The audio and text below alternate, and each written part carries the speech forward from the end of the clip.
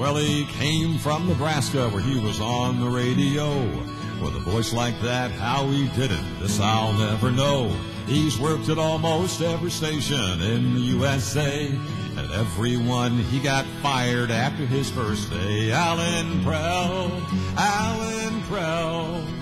There's nothing you can tell Allan Prell unless it's special.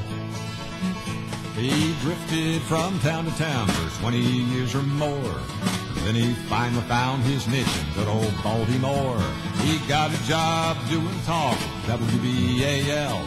Exactly what it is he does, no one can tell. Allan Prell, Allan Prell.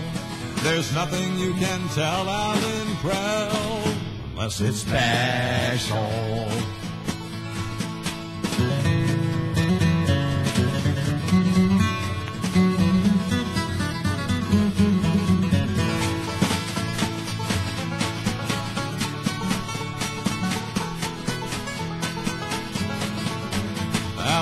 Prell, Prell.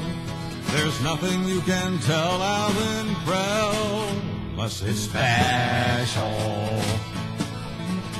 Uncle Ally, your radio pal is now a big success. Even though the things he says put Big Boss under stress, his callers are all special bright, as no doubt you can tell. Except, of course, Dirty Ed and Charles the Criminal. Allan Allan Prell. There's nothing you can tell Allan Prell unless it's special.